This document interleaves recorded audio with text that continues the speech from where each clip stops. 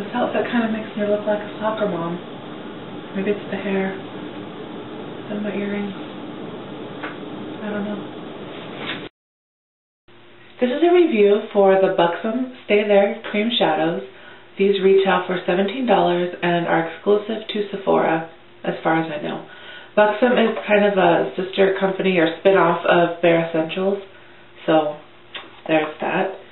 These come in 3.5 gram jars or 0.12 ounces, and the packaging is pretty standard. It's like acrylic, you know, little pot. Looks like this. I have three shades. The first one is Mutt, and it's a really pretty bronzy color. Then I have Sorry, my air conditioning just kicked on. Then I have Pug, and this is a pretty taupey silver. And then I have St. Bernard, and this color is a gorgeous teal, like this. More of a green-based teal.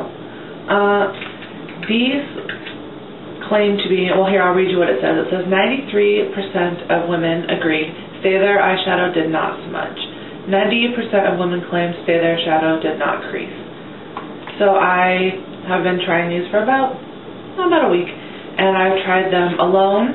I've tried them underneath eyeshadow. And I've tried them, well, I've tried them alone over Urban Decay Primer Potion. And then I tried them over Urban Decay Primer Potion and with eyeshadow to set. So obviously the best way for me to wear them was over Urban Decay Power Potion with shadow because if you wear them by themselves, they crease and they move around. They're not, they don't ever really dry to like a powdery finish. They don't stay wet, they're just kind of like, like tacky. So I think it's best to set these. Um, as far as smudging, they do smudge. And but to me, it's a good kind of smudge. You know, you don't want to put on your cream shadow and have like harsh lines. So you, you know, you want to smudge the edges. So, yeah. Uh, I'm going to show some swatches. This is Mutt. Put a little bit extra on. Mutt. Really pretty bronzy color. Pug. The taupe in case you notice, these are all named after dog breeds. And I think that's cute, you know, the whole stay, stay there, let you command your dog, whatever. Um, I don't know. Part of me thinks it's like stupid, but another part me thinks it's pretty cute. This is Pug.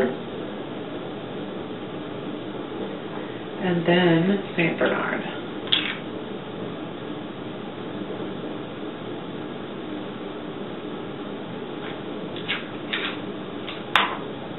Here, obviously, right?